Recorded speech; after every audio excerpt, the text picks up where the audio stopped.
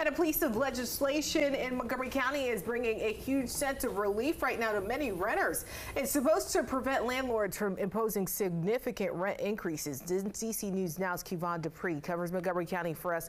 He spoke to officials as well as people about that legislation.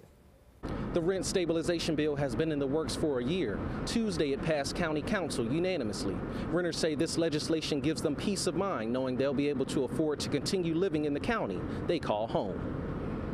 Montgomery County leaders protecting tenants from outrageous rent hikes. The rent stabilization law caps rent increases for eligible buildings at uh, inflation plus 3% or 6%, whichever is lower. Jordan Agee is a renter who lives in downtown Silver Spring. That's a great feeling because for me personally, like I don't have kids, but you know, I like to spend on shoes, I like to buy, you know, other things. So if I know all my money going straight to rent, I don't have the luxury to live the life that I want to. Agee says the legislation allows him and others the ability to budget in advance and opens up opportunities to explore a variety of living options. Let's say you in your one situation, you're not really feeling it. All right, let me look and see what else is in the area. Rocio Rossi also lives in Silver Spring. She says the law is crucial for renters because she knows people in other parts of the DMV who haven't been as fortunate.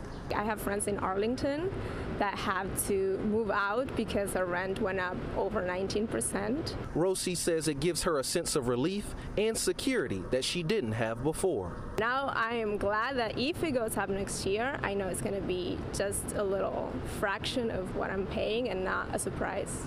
The bill goes into effect immediately, and there are several exceptions to the bill. Councilmember Mink says it does not cover Rockville or Gaithersburg.